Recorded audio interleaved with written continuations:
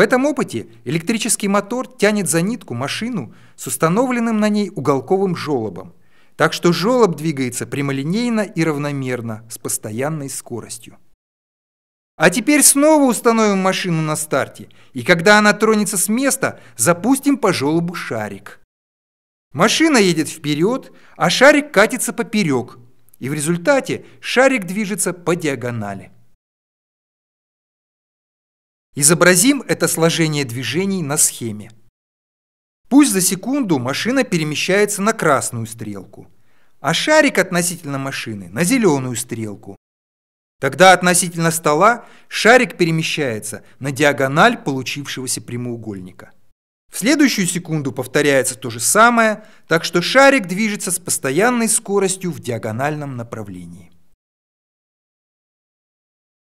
Движения, которые мы складываем, не обязаны быть равномерными. В этом опыте на игрушечной машине установлен штатив, а на нем висит груз, который может качаться на пружине. Потянем машину по столу электромотором, чтобы груз качался на ходу. Теперь равномерное горизонтальное движение машины складывается с вертикальным колебательным движением груза. Сделаем трассировку результирующего движения.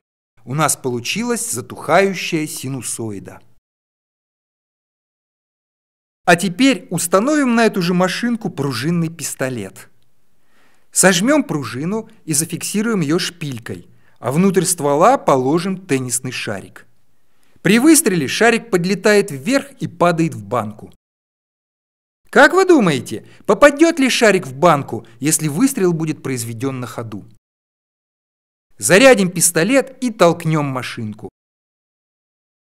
Выстрел, и шарик попадает в банку.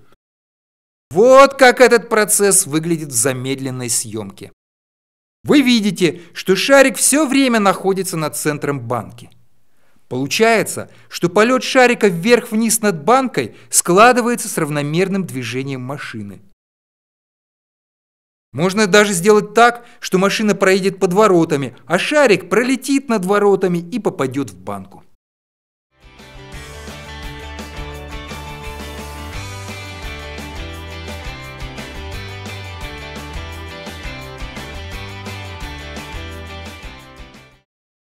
Мы можем складывать не только поступательные, но и круговые движения.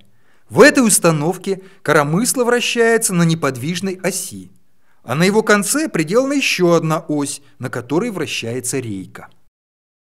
На центральной оси неподвижно закреплена большая катушка, а с рейкой соединена малая катушка.